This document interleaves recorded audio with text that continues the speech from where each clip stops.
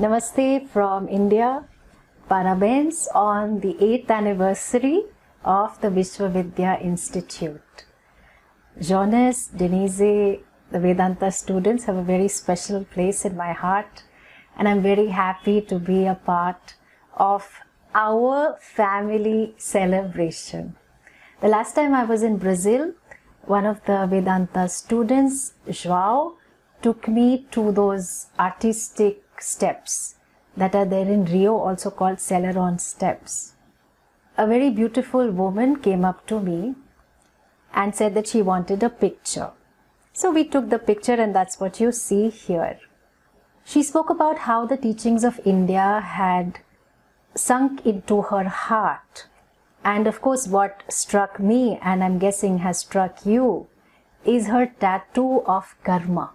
And so today I want to talk about the joy of karma when it sinks into your heart. And I present to you some six points to think about. Point one Karma is possible only through our freedom of choice. A donkey cannot decide whether she wants to eat a brigadeiro or a canjica. Karma is action done out of choice only by human beings. And so, as we know, karma gives us both visible and invisible results in the form of punya and papa. You helped someone, the person is helped, visible result. You also got some punya, invisible result that sits in your karma account. That punya is transformed into sukha, moments of happiness in the form of a healthy body, supportive relationships, good opportunities, etc. And of course, the papa is transformed into situations of sadness in one's life, not having enough support, maybe health issues, lack of opportunities, etc. Naturally, all of us want sukha, moments of happiness which come from punya. And so we increase our karma of doing good. So, karma is possible through the blessing that only human beings have been given with the freedom of choice. The second point karma can become yoga. Doing karma can be very stressful. One always wonders Am I doing enough? Should I have done more to save the relationship? Should I have done less? How shall I decide? Our sages and masters said it's very, very simple. For any karma to be done, just consider the universal framework of dharma love, kindness, justice, compassion, well being. And so we can transform karma into yoga by aligning all our karma with dharma. So rather than ask ourselves, what should I do? We change it to, what does the dharma of this situation require such that all the people involved will benefit? Only then I can ask, what should I do? How can I contribute to the situation? And so, by aligning ourselves to the law of dharma, the law of karma, my raga dveshas do not matter. So, ragas are our binding likes.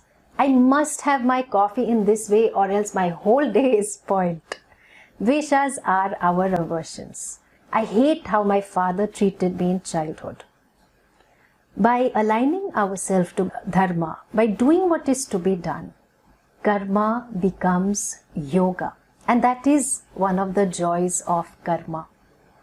Point 3 Karma Yoga gives me prasada.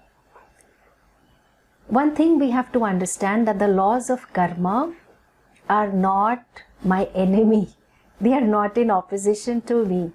In fact, the laws of karma are lovingly being shaped by the hands of Ishvara. And so, the intelligence of the cause and effect relationship is Ishvara all the way.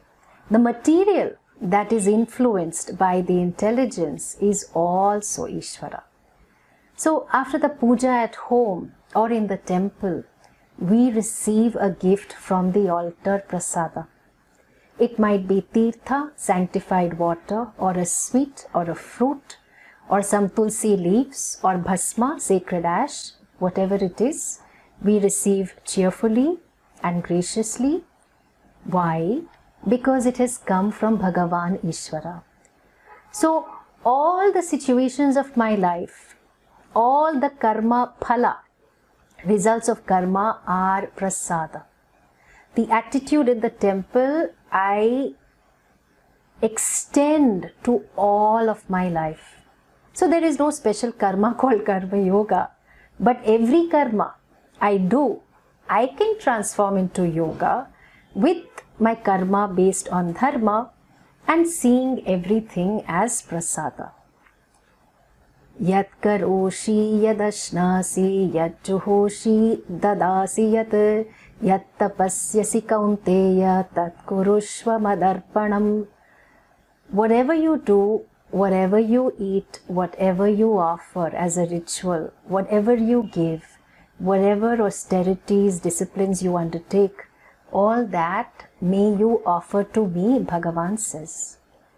Point number four Karma Yoga makes me a loving person.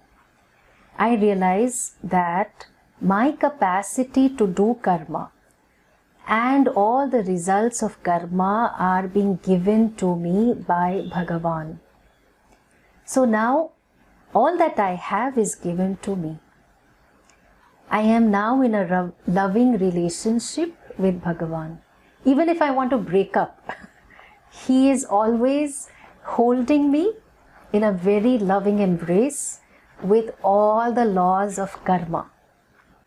Point number five Karma makes me inquire into the karta, the one who does the karma. So, okay, I'm doing all this karma, but you know what? It still makes me feel limited. My identity is still limited. I am a limited doer, I'm a limited experiencer. There's so much I want to do. Is this all that there is to life from lifetime to lifetime? No. We inquire into the reality of this karta, the doer, and then we will discover, if you haven't already, that I, you, am the Atma.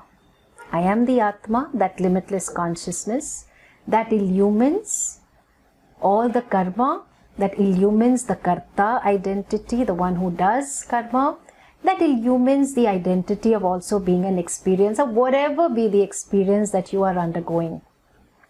And finally, six, Atma was never the doer or the experiencer. So, with exposure to Vedanta, you see that you are not what you are aware of. You're aware of the donkey, but you are not the donkey. The karta is you, okay? But you are not the karta. You are aware of the karta, the doer, her different roles, her different experiences, her feelings, but you are much more than all of this. And so there is a beautiful shift that takes place. Earlier, you did karma for the sake of ananda, fullness, when the reality of the Atma becomes clear to you that I am that Atma, then you do karma out of the fullness that you are. Every karma that you do is an expression of the fullness, the abundance that you are. You were always free. So we see that when karma really sinks into our heart, we see clearly that we can do karma, lots of it, less of it, but we are ever untouched. I am that consciousness, I am that Atma. That is the basis of all karma, of all the wonderful experiences that life brings. And this is indeed the joy of karma that can be discovered through Vedanta. Muito amor. Muito, muito amor. Parabéns again on your 8th anniversary. And I wish all of you well and lots of love, lots of prayers. Om Tat Sat.